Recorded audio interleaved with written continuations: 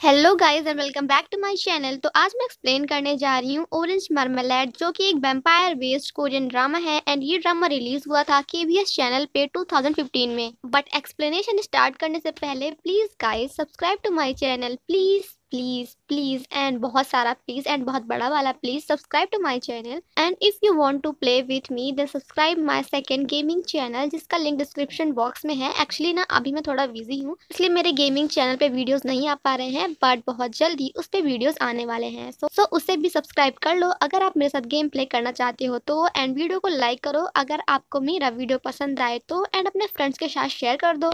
And now let's start the explanation but guys don't forget to subscribe my channel. Like a Hellcat.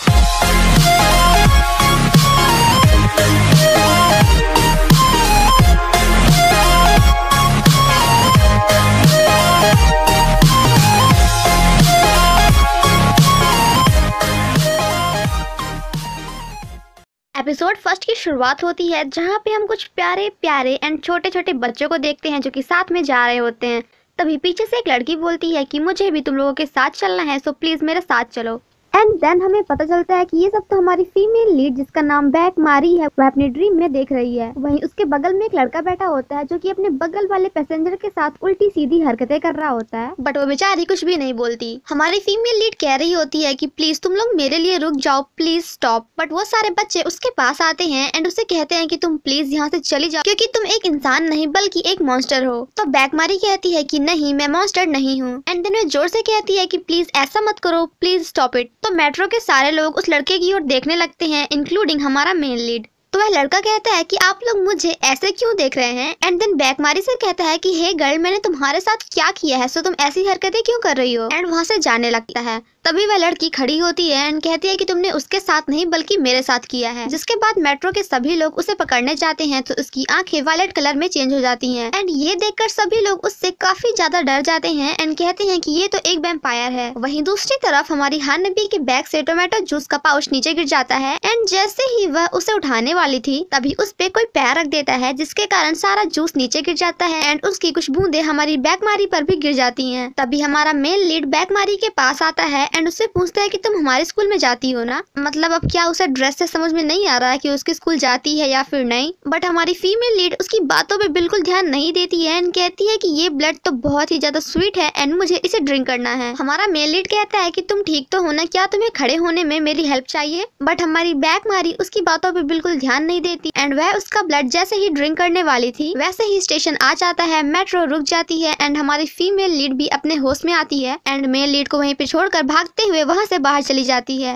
And हमारा male lead was like अजीब लड़की है ये। And then कहता है कि इस तरह तो तुम स्कूल के लिए लेट हो जाओगी। वहीं दूसरी तरफ़ हम बैक मारी को वुमेन्स वॉशरूम में देखते हैं जो कि अपने आप को साफ़ कर रही होती है। एंड यहाँ पे हमें पता चलता है कि हमारी फीमेल लीड भी एक वेम्पायर है क्योंकि उसकी आँखों का कलर भी चेंज हो जाता है। बैक मारी अपने आप से कहती है की क्या मैं किसी ह्यूमन ब्लड के लिए अट्रैक्ट हुई? एंड देन कहती है की बैक मारी तुम मॉन्स्टर नहीं हो, बल्कि तुम भी एक इंसान हो। स्कूल के अंदर आने से पहले हमारी फीमेल लीड अपने मन में सोच रही होती है की इस बार तो मैं इस स्कूल से ग्रेजुएट होकर ही रहूँगी। एंड मैं अपनी पूरी कोशिश करूँगी कि इस बार यहाँ पे किसी को पता न चले कि मैं एक वेम्पायर हूँ। मैंने तो आप लोगों को मेल लीड का नाम बताया ही नहीं। सो मेल लीड का नाम है जंग जेमिन देन हमें क्लास का सीन दिखाया जाता है, जहाँ पे टीचर जेमिन को क्वेश्चन सॉल्व करने को देती हैं। तभी यहाँ पे एंट्री होती है हमारे बैक मारी की एंड देन टीचर उसे सबसे इंट्रोड्यूस कराती है। बट हमारा मेल लीड तो क्वेश्चन सोल्व करने की बजाय उसे ही देखते रह जाता है। एंड देन कहता है कि मैंने तुमसे कहा था ना कि तुम स्कूल के लिए लेट हो जाओगी। टीचर कहती हैं कि, जेमिन, तुझे क्या हुआ? या फिर ये क्वेश्चन तुझसे सॉल्व ही नहीं हो रहा है? तो जेमिन कहता है कि, नहीं मैम ऐसी बात नहीं है। तो मैम कहती हैं कि, फिर सॉल्व करना? अब मैडम को कौन बताए कि, लड़की का चक्कर, बैकमारी के बगल में जो गर्ल बैठी होती है, वह उसे अपने आप से इंट्रोड्यूस कराती है। एंड कहती है कि तेरा नाम मारी है एंड मेरा नाम सूरी है एंड बैक मारी की थोड़ी बहुत तारीफ़ भी करती है। क्लास के ओवर होने के बाद क्लास के सभी बच्चे उसी मेट्रो वाले वेम्पायर की वीडियो देख रहे होते हैं एंड देन तभी उन्हें उसी वीडियो में हमारी बैक मारी भी दिखती है। तो वो लोग इससे पूछते हैं कि क्या ये तू ही थी? तो बैक मारी कहती है कि हाँ बिल्कुल। जिसके बाद तो वो सभी बच्चे भागते हुए उसके पास जाते हैं एंड उससे अलग अलग क्वेश्चन करने लगते हैं, जैसे कि क्या तू सच में वेम्पायर के बगल में बैठी थी? क्या तुझे डर नहीं लगा? तुझे कैसा फील हुआ? वगैरह एंड वगैरह। बट बेचारी हमारी फीमेल लीड उन्हें क्या ही बोलती? एंड एट लास्ट काफ़ी सोचने के बाद वो अपना चेन दिखाते हुए कहती है कि, मैंने अपने नेक पे ये क्रॉस चेन पहन के रखा है। एंड तुम लोगों को तो पता ही है कि वेम्पायर को क्रॉस से डर लगता है। एंड देन अपने मन में कहती है कि, ऐसे झूठ बोलना मुझे बिल्कुल पसंद नहीं है। आफ्टर दैट हम जेम इनको लाइब्रेरी में देखते हैं, जहाँ पे वह एक बुक निकाल कर पढ़ने लगता है जो की वेम्पायर के बारे में होती है। जिसमें लिखा होता है की हमें ये तो नहीं पता की वेम्पायर की ऑरिजिन कैसे हुई बट वो ह्यूमन नहीं है, बल्कि वो सब तो ह्यूमन के भेस में एक मॉन्स्टर है, क्योंकि वो सभी ह्यूमन ब्लड को कंज्यूम करते हैं। एंड बुक को पढ़ने के बाद हमारा जेमिन काफ़ी गुस्सा होकर बोलता है कि कितना अच्छा होता अगर ये सारे वेम्पायर्स पहले ही खत्म हो गए होते। एंड हमारे मेल लीड को वेम्पायर से इतनी ज़्यादा नफरत क्यों है, ये तो आपको आगे पता चलेगा। देन अगेन हमें क्लास का सीन दिखाया जाता है, जहाँ पे सभी बच्चे मिस्टर हान से वेम्पायर के बारे में पूछ रहे होते हैं। तो मिस्टर हान कहते हैं की अब वेम्पायर्स ह्यूमन ब्लड कंज्यूम नहीं करते हैं तो वह ह्यूमन के साथ रह सकते हैं। जेमिन का फ्रेंड कहता है कि, सर वेम्पायर तो बिल्कुल ह्यूमन की तरह दिखते हैं एंड देन कहता है कि हमारी क्लास में भी एक वेम्पायर है एंड वो और कोई नहीं, बल्कि मैं हूँ। जिसके बाद वह वेम्पायर की तरह एक्टिंग करने लगता है एंड जेमिन के पास जाकर कहता है की, मैं तुम्हारा ब्लड ड्रिंक कर लूँगा। तो जेमिन उस पर काफ़ी ज़्यादा गुस्सा करता है। मतलब की हमारे भाई को वेम्पायर से कुछ ज़्यादा ही नफरत है। टीचर कहते हैं कि इस दुनिया में सिर्फ़ और सिर्फ़ एक ही ऐसी चीज़ है जो वेम्पायर को ह्यूमन से अलग करती है एंड वो चीज़ टॉप सीक्रेट है। मैं तुम्हें नहीं बताने वाला in order to protect our human rights तो जेमिन कहता है कि sir I think human right सिर्फ़ और सिर्फ़ ह्यूमन पे लागू होना चाहिए, ना कि वेम्पायर्स पे, क्योंकि वेम्पायर्स ह्यूमन नहीं है। एंड ये सुनने के बाद तो हमारी बैक मारी भी जेमिन की ओर देखने लगती है। वही दूसरी तरफ़ हमें एक वेम्पायर एंड ह्यूमन का इंटरव्यू दिखाया जाता है, जहाँ पे वेम्पायर कहता है की ह्यूमन एंड वेम्पायर साथ में कभी नहीं रह सकते हैं। क्योंकि अगर आपको कभी पता चले कि आपके घर के बगल में वेम्पायर रह रहे हैं तो आप जाकर उनकी कंप्लेन कर देते हो। एंड हमें हमेशा वह प्लेस छोड़कर जानी पड़ती है। एंड देन वह अपना हाथ कट करता है, जो कि कुछ सेकंड्स के अंदर ही कम्प्लीटली हील हो जाता है। तो वह अपना हाथ ह्यूमन को दिखाते हुए कहता है की अगर हम ह्यूमन ब्लड कंज्यूम नहीं करेंगे तो हमारी सारी की सारी पावर्स एक दिन गायब हो जाएँगी। हमने तो ह्यूमन के साथ रहने के लिए इतना बड़ा सेक्रीफाइस कर दिया बट उन्होंने हमारे साथ रहने के लिए कुछ भी सेक्रीफाइस नहीं किया। ड्यूरिंग लंच टाइम सभी लड़कियाँ लंच ले रही होती हैं एंड आपस में बात कर रही होती हैं कि वेम्पायर्स को गार्लिक से एलर्जी है। वही हमारी फीमेल लीड ये सब सुन रही होती है एंड देन अपने आप को नॉर्मल दिखाने के लिए वह काफ़ी सारी गार्लिक लेती है एंड अकेले जाकर उन्हें खाने लगती है। हमारी जेमिन की निगाहें सिर्फ़ और सिर्फ़ बैक मारी को ढूंढ रही होती है एंड जैसे ही वह उसे दिखती है तो वह उसे खड़ा होकर वहीं पे देखने लग जाता है। तभी वहाँ पे उसका फ्रेंड आता है एंड उससे कहता है की तू यहाँ पे कर क्या रहा है एंड उसे अपने साथ ले जाता है। काफ़ी सारी गार्लिक्स खाने के बाद बैक मारी की तबीयत बहुत ही ज़्यादा खराब हो जाती है एंड उसकी बॉडी पे रिएक्शन होना स्टार्ट हो जाते हैं, जिसके बाद वह वॉशरूम जाती है एंड सारा का सारा खाना वॉमिट कर देती है। वहीं दूसरी तरफ़ हमें एक आदमी दिखाया जाता है जो कि टोमेटो जूस की पॉलीथीन में एनिमल ब्लड डालकर उन्हें पैक कर रहा होता है एंड साथ ही साथ फुटबॉल भी इंजॉय कर रहा होता है। बट जब भी कोई फुटबॉलर अपना गोल मिस कर देता है तो वह उन पे काफ़ी ज़्यादा गुस्सा करता है। एंड इससे ये तो समझ में आता है कि उससे फुटबॉल से काफ़ी ज़्यादा प्यार है। फुटबॉल के साथ साथ हमारे ये अंकल चिकन एंड बियर भी इंजॉय कर रहे होते हैं तभी उन्हें किसी के आने की आवाज़ सुनाई देती है। जिसके बाद वह जल्दी से भाग कर बियर एंड चिकन को छिपा देते हैं। तभी वहाँ पे उनकी वाइफ आती है, जो की आज काफ़ी खुश होती है एंड देन कहती है की मुझे तो किसी चीज़ की स्मेल आ रही है। तो अंकल कहते हैं की कैसी स्मेल क्यूँकी मुझे तो नहीं आ रही। एंड थोड़ी देर छानबीन करने के बाद एट लास्ट हमारी आंटी को चिकन मिल ही जाता है। तो वह अंकल से कहती है कि तुम ऐसी चीज़ों पे अपना पैसे वेस्ट क्यों कर रहे हो, जिन्हें तुम खा भी नहीं सकते। एंड देन हमें यहाँ पे पता चलता है कि अंकल एंड आंटी दोनों वेम्पायर्स हैं एंड ये दोनों हमारे बैकमारी के मॉम एंड डैड हैं। एंड हमारे बैकमारी का एक छोटा सा भाई भी है। बैकमारी की मॉम उसके डैड से कहती है कि तुम फुटबॉल टीम को ज्वाइन करने के बारे में सोचना भी मत, क्योंकि जब भी तुम फुटबॉल खेलना स्टार्ट करते हो ना तो तुम्हारी सुपर पावर देखकर सभी को पता चल जाता है कि हम वेम्पायर्स हैं एंड हमें हमेशा अपनी प्लेस चेंज करनी पड़ती है। बट अब मैं इस प्लेस को छोड़कर कहीं और नहीं जाने वाली हूँ। वहीं दूसरी तरफ़ हम बैकमारी को देखते हैं जो की स्कूल की छत पर अकेले बैठ ब्लड ड्रिंक कर रही होती है। एंड आफ्टर दैट वह अपने नोटबुक में कुछ म्यूजिकल्स नोट लिखती है। एंड अपने मन में सोच रही होती है की मुझे इनविजिबल पर्सन की तरह एक्ट करना है सिर्फ़ और सिर्फ़ दो सालों के लिए एंड मैं ये कर सकती हूँ। वहीं दूर से हमारा मेल लीड बैक मारी को देख रहा होता है मतलब भाई बस कर, कितना देखेगा तू उसे? अगर तो आज ही उसे इतना ज़्यादा देख लेगा तो फिर कल क्या देखेगा? देन हमें न्यूज़ दिखाया जाता है, जहाँ पे हमें पता चलता है कि मेट्रो में जिस वेम्पायर ने उस लड़की के साथ गलत हरकतें की थी, उसे पकड़ लिया गया है एंड उससे कड़ी से कड़ी पनिशमेंट भी मिलने वाली है। देन अगेन हमें स्कूल का सीन दिखाया जाता है, जहाँ पे जो आरा जेमिन से कहती है कि, इस गिटार शो की सारी की सारी टिकट तो बिक चुकी थी बट मेरे डैड के एम्प्लॉय ने इसे मेरे लिए ला कर दी है, वो भी पर्सनली तो क्या तुम मेरे साथ चलना चाहते हो? बट हमारा मेन लीड उसे कम्प्लीटली मना कर देता है। तो जोआरा कहती है की मैंने सुना है की तू बचपन में एक बैंड में था एंड तुझे गिटार प्ले करना बहुत ही ज़्यादा पसंद है। एंड जिन्हें भी गिटार प्ले करना पसंद है, वो तो इस शो को देखने के लिए बिल्कुल मरे जा रहे हैं। तो तू क्यों नहीं जा सकता मेरे साथ? तो जेमिन कहता है कि मैं तेरे साथ इसलिए नहीं जा सकता क्योंकि मैंने गिटार बजाना छोड़ दिया है। एंड अगर मैं उसे गिटार बजाते हुए देखूँगा ना तो फिर से मुझे गिटार बजाने का मन करेगा। तभी जेमिन को अगेन बैक मारी दिखती है। तो जेमिन जो आरा से कहता है कि, देख, तू तो इस स्कूल में बहुत ही ज़्यादा पॉपुलर एंड फ़ेमस है एंड इस शो के टिकट्स की डिमांड भी काफ़ी ज़्यादा है एंड तेरे साथ इस शो को देखने जाने के लिए तो इस स्कूल के पूरे बॉयज़ लाइन लगा लेंगे। एंड मैं इस बात को लेकर बहुत ही ज़्यादा क्यूरियस हूँ की कौन है वो लकी पर्सन जो तेरे साथ ये शो देखने जाएगा। एंड इतना कहकर हमारा जेमिन वहाँ से चला जाता जाता है एंड बैगमारी को फॉलो करने लगता है। मेट्रो स्टेशन पे जाकर हमारा जेमिन बैगमारी के पीछे खड़ा हो जाता है बट हमारी बैगमारी तो अपने आप में इतना ज़्यादा बिज़ी होती है की उसे तो पता भी नहीं चलता की जेमिन उसके पीछे है। जेमिन उससे कुछ बात करने की कोशिश करता है एंड वह जैसे ही उससे कुछ बोलने वाला था, वैसे ही हमारी बैगमारी मेट्रो के अंदर चली जाती है। अंदर जाने के बाद भी हमारा मेन लीड सिर्फ़ और सिर्फ़ बैगमारी को देख रहा होता है एंड इस बात को बैगमारी के बगल में बैठा एक पर्सन भी नोटिस कर लेता है एंड वह बैगमारी के बगल की प्लेस को छोड़कर दूसरी जगह पे चला जाता है।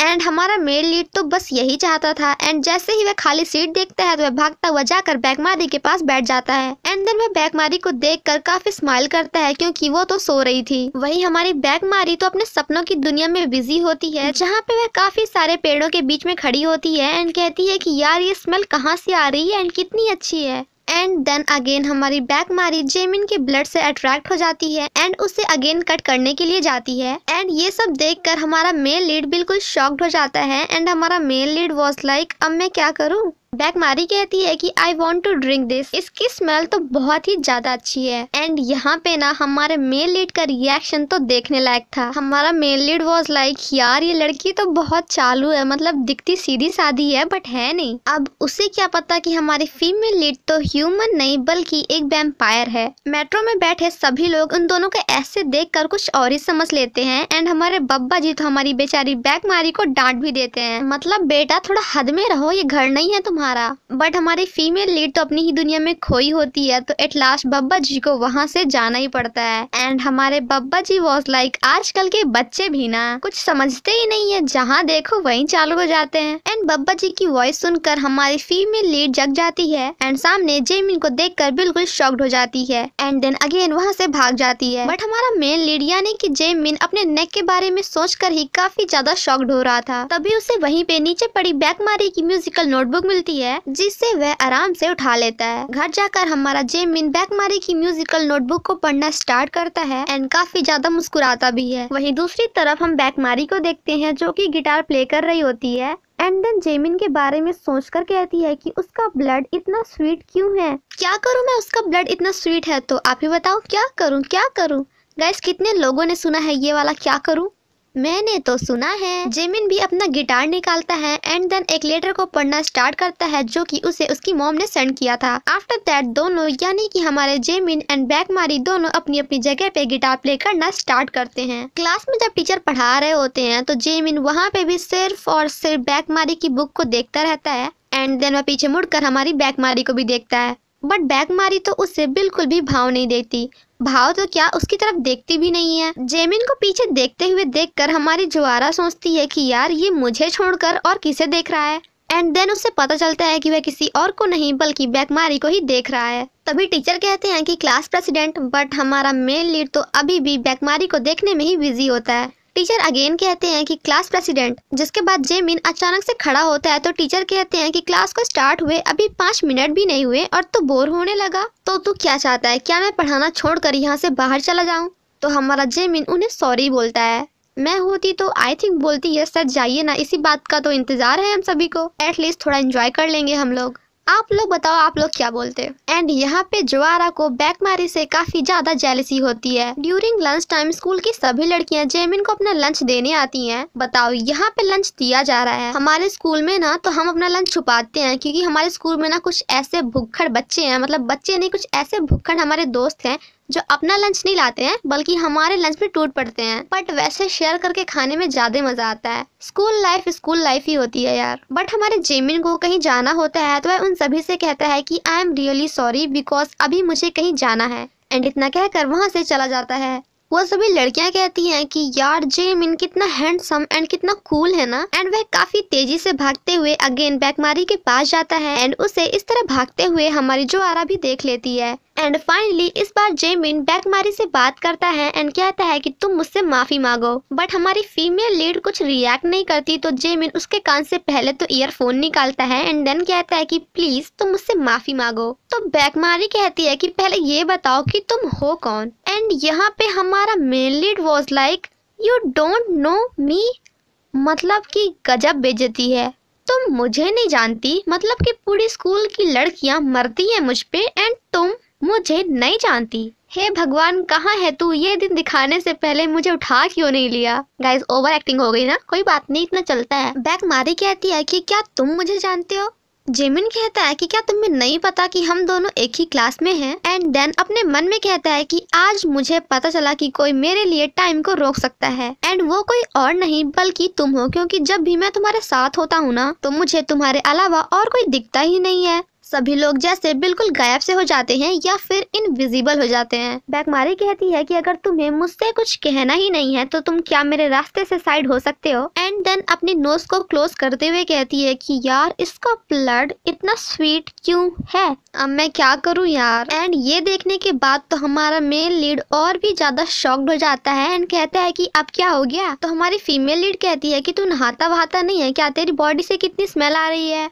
एंड इसे सुनकर तो हमारा मेन लीड बहुत ही ज़्यादा शॉक्ड हो जाता है। एंड यहाँ पे हमारा मेन लीड वॉज़ लाइक मतलब कुछ भी? भगवान, अब तो तू मुझे उठाई ले, क्योंकि इससे ज़्यादा मैं अपनी बेजती और नहीं सह सकता। मतलब गाइस सच में यार, कितनी ज़्यादा बेजती हो गई इसकी। पहले एपिसोड में ही इतनी ज़्यादा बेजती हो गई तो पता नहीं बाकी एपिसोड्स में क्या होने वाला है। कोई नहीं, देखते रहो आप ही। Stay tune for all episodes but guys don't forget to subscribe my channel channel channel please subscribe guys I love you a lot and I know you love me a lot so please अपना प्यार दिखाओ and मेरे channel को subscribe करो। तो ओ क्यों कहता है कि देख, मैं डेली नहाता हूँ मीन्स मैं डेली शावर लेता हूँ एंड क्या तुझे जर्माफोबिक है क्या? एंड अगर तुझे जर्माफोबिक है तो तू मेरे साथ ये काम कैसे कर सकती है? तो बैकमारी कहती है कि क्या तू मुझे अच्छे से एक्सप्लेन करके बताएगा कि मैंने क्या किया है तेरे साथ? क्योंकि मुझे कुछ समझ में नहीं आ रहा है कि तू कह क्या रहा है। एंड यहाँ पे तो हमारा मेन लीड और भी ज़्यादा शॉक्ड हो जाता है। एंड देन कहता है कि मैं नहीं बताऊँगा यार, मैं बता ही नहीं सकता, मैं नहीं बताऊँगा। जेमिन अगेन कहता है कि तू प्लीज़ मुझसे माफ़ी मांग ले। तो बैकमारी कहती है कि क्यों? तो जेमिन कहता है कि यार, हद है। एंड देन कहता है कि वैसे भी मैं उस लड़की से सॉरी कैसे बुलवा सकता हूँ? जिसे मैं याद ही नहीं हूँ। बैकमारी कहती है कि तुमने कहा कि तुम मेरी क्लास में हो एंड अभी मुझे इस स्कूल में आए सिर्फ़ और सिर्फ़ दो दिन हुए हैं तो क्या ये ज़रूरी है कि मैं सभी बच्चों के फेस को याद करके रखूँ, या फिर मैं अपनी क्लास के सभी बच्चों को जानूं? जिसके बाद जेमिन बैकमारी से अपना इंट्रोडक्शन कराता है एंड कहता है कि मैं हूँ जंग जेमिन तो हमारी बैकमारी कहती है कि अगर तू जंग जेमिन है तो मैं क्या करूँ? जेमिन कहता है की यार, जब तू अपने स्कूल में रही होगी ना तो तू कितनी अनइंटरेस्टेड रही होगी, तुझे तो कोई भाव ही न देता रहा होगा, क्योंकि तुझे तो अपनी क्लास का क्लास प्रेसिडेंट भी याद नहीं रहता है। एंड देन कहता है कि तुझे क्या लगता है कि हम दोनों एक दूसरे से सिर्फ़ और सिर्फ़ स्कूल में मिलते हैं? सो so, अच्छे से याद कर कि हम दोनों और कहाँ मिलते हैं। एंड मुझसे माफ़ी मांग। तो हमारी फीमेल लीड कहती है कि एक बार तो मुझे बता दे कि मैंने किया क्या है तब तो मैं आराम से माफ़ी मांग लूँगी। तो जेमिन कहता है कि यार ये तो पूछ क्यों रही है? क्योंकि ये बहुत ही ज़्यादा हार्ड काम है। सो तू इसे अपने आप ही फाइंड कर एंड मुझसे माफ़ी मांग। एंड मैं तुझे तब तक फॉलो करूँगा जब तक तुम मुझसे माफ़ी मांग नहीं लेती वो भी सिंसियरली एंड आफ्टर दैट उससे कहता है कि क्या तुझे म्यूज़िक पसंद है? तो बैकमारी कहती है कि नहीं? तो जेमिन कहता है कि फिर तू हर जगह ईयरफोन लगा कर क्यों घूमती है? तो बैकमारी कहती है कि मैं ऐसा इसलिए करती हूँ क्योंकि मुझे नॉइस पसंद नहीं है। जेमिन उससे अगेन क्वेश्चन करता है एंड कहता है कि क्या तुझे पता है कि गिटार को कैसे प्ले करते हैं? तो हमारी बैकमारी इस बात पे भी कहती है कि नहीं, मुझे नहीं पता है कि गिटार को कैसे प्ले करते हैं। तो जेमिन उसे उसकी बुक वापस करते हुए कहता है कि फिर ये क्या है? बैक मारी, उससे अपनी बुक वापस लेने की कोशिश करती है बट हमारा मेल लीड उसे देता नहीं है एंड ये सब जो आरा भी देख लेती है। आई थिंक आज हमारी जो आरा जेमिन को फॉलो कर रही थी मतलब कि वो इसे लाइक करती है है ना? देन नेक्स्ट सीन में हम मिस्टर हान को एक लेडी के साथ देखते हैं एंड ये लेडी कोई और नहीं, बल्कि जंग जेमिन की मॉम होती हैं एंड मिस्टर हान की वाइफ भी। यानी कि मिस्टर हान हमारे जंग जे मिन के डैड भी हैं एज वेल एज उसके टीचर भी। जेमिन की मॉम उसकी फ़ोटो को देख रही होती हैं एंड कहती हैं कि मेरा बेटा कितना हैंडसम है ना। जाने से पहले उसकी मॉम मिस्टर हान को एक गिटार देती हैं एंड कहती हैं कि प्लीज़ आप इस गिटार को मेरे बेटे को दे दीजिएगा। मैं ये गिटार उसे खुद देना चाहती थी बट वो मुझसे इतना ज़्यादा गुस्सा है की वो तो मुझसे बात भी नहीं करता। तो गिटार तो क्या ही लेगा? तो मिस्टर हान कहते हैं कि कोई बात नहीं, मैं अपनी तरफ़ से पूरी कोशिश करूँगा उसे मनाने की। उसकी मॉम कहती हैं कि उसने सिर्फ़ और सिर्फ़ मेरे कारण म्यूज़िक प्ले करना छोड़ दिया, जबकि उसे म्यूज़िक प्ले करना बहुत ही ज़्यादा पसंद है। घर पहुँचते ही हमारा जेमिन सबसे पहले अपने कपड़ों को निकाल कर उन्हें स्मेल करता है एंड देन कहता है की इन सभी कपड़ों की तो स्मेल बिल्कुल ठीक है। आफ्टर दैट हमारा जेमिन नहाने जाता है एंड काफ़ी रगड़ रगड़ के नहाता है एंड वह वहाँ पे भी सोच रहा होता है की उसे ये नहीं पता की मैं कौन हूँ मतलब की वो मुझे नहीं जानती। एंड वह मुझे नहीं जानती तो क्या हुआ? मुझे इससे कोई फ़र्क नहीं पड़ता है। एंड देन अपने आप को मिरर में देखते हुए कहता है कि यार बैक मारी, मेरा फेस इतना ज़्यादा प्लेन है, इतना ज़्यादा साफ़ है। एंड तूने मुझसे कहा कि तू कौन है? मतलब हद है। वो इस चेहरे को कैसे भूल सकती है? ये तो ऐसा चेहरा है जिसे भूलने की कोशिश करो ना, तब भी नहीं भूल सकते हो। मतलब भाई को अपने हैंडसमनेस पे कुछ ज़्यादा ही गर्व है। एंड एट लास्ट वह अपने आप से कहता है कि कोई बात नहीं, जंग जेमिन तू बहुत ही अच्छा है एंड तू बहुत ही ज़्यादा गुड लुकिंग है। वहीं दूसरी तरफ़ हम बैकमारी को देखते हैं जो कि अपनी एंड जंग जेमिन की बातें याद कर रही होती है, जहाँ पे जंग जेमिन उससे कहता है कि क्या तुझे झूठ बोलने की आदत है? एंड वैसे क्या तेरा ड्रीम एक म्यूजिशियन बनने का है? तो हमारी बैकमारी कहती है कि मेरे पास तो कोई ड्रीम ही नहीं है। I don't have any dream after that हम मिस्टर हान एंड जेमिन को साथ में देखते हैं, जहाँ पे मिस्टर हान अपने स्टेप बेटे, यानी कि जेमिन से बात करने की कोशिश करते हैं बट हमारा जेमिन उनसे बात करने में बिल्कुल भी इंटरेस्टेड नहीं होता है एंड हर बात में वह मिस्टर हान की इंसल्ट करता है। आई थिंक कि वह अपने डैड से कुछ ज़्यादा ही नफरत करता है। मिस्टर हान जेमिन से कहते हैं कि मैंने सुना है कि तुम काफ़ी ज़्यादा अच्छा गिटार प्ले करते हो। सो चलो, हम सभी मिलकर एक स्कूल बैंड बनाते हैं जहाँ पे तुम गिटार प्ले करना।